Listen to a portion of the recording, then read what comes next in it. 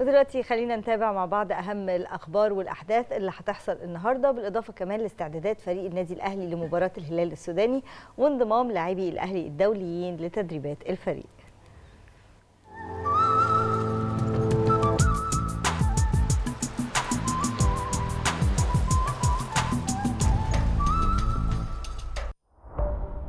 بالنسبة للأخبار المهمة اللي هتحصل النهاردة فالأزهر الشريف هينظم احتفالية كبرى بمناسبة مرور 1083 عام هجري على تأسيس الجامع الأزهر واللي بيوافق السابع من شهر رمضان المعظم من كل عام. تتضمن الاحتفالية مجموعة متنوعة من الأنشطة والفعاليات على مدار اليوم تستهدف التعريف بتاريخ الجامع الأزهر وهيئاته العلمية والتعليمية المختلفة وأبرز شيوخه وعلمائه ومواقف الأزهر من قضايا الأمة قديما وحديثا.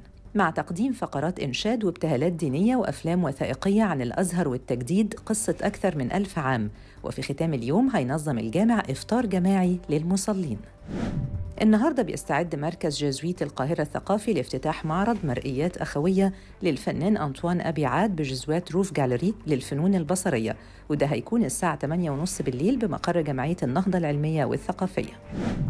النهارده هينضم لاعبو الأهلي الدوليين محمد الشناوي ومحمد هاني وحمدي فتحي وأحمد عبد القادر ومروان عطية وحمدي فتحي ومحمود كهربا لتدريبات فريقهم استعدادا لمباراة الفريق القادمة أمام الهلال السوداني السبت 1 إبريل.